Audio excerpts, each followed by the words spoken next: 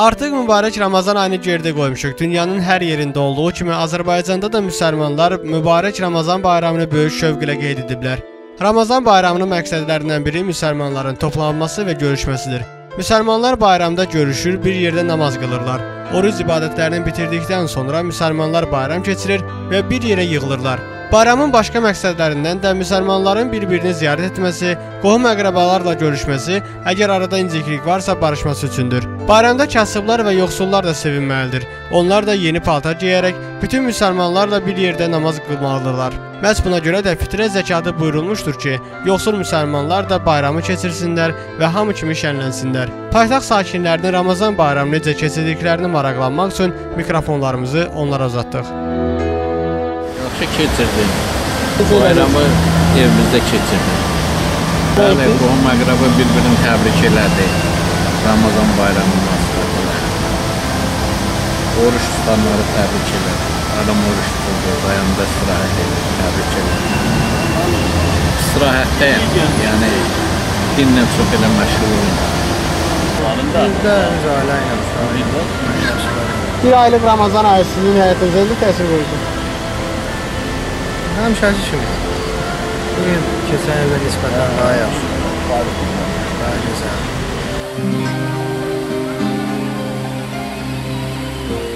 Güzel keçirmiş. Yaxşı keçirdi, gözəl keçirdi. İllər keçidə can sağlığı. Allah hamımızdan hayır qəbul etsin. Güzəlindən çıxır. Yaddaşda qalan təsir var. Gözəl bayramımız olmalı. Hamını sevdiriz.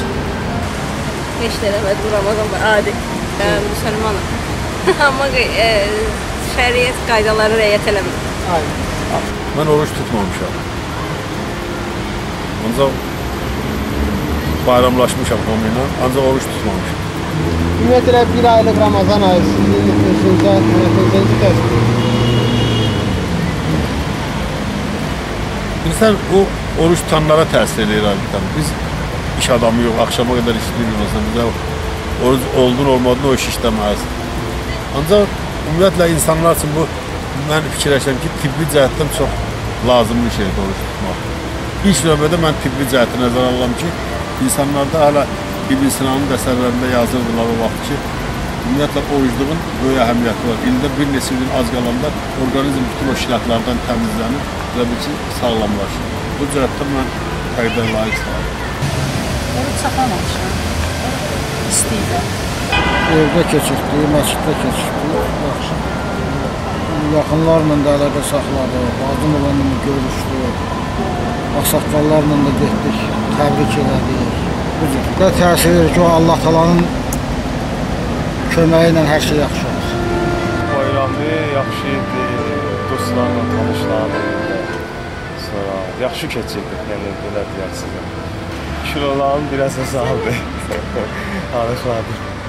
Yaxşı idi ümumiyyətcə həm e, biraz zorluq çəkmədik də biləsiniz. Yaxşı idi.